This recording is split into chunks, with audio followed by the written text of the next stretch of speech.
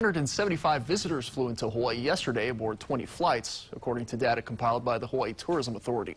They're among 1,249 air travelers who arrived. Of that, 261 are residents returning home.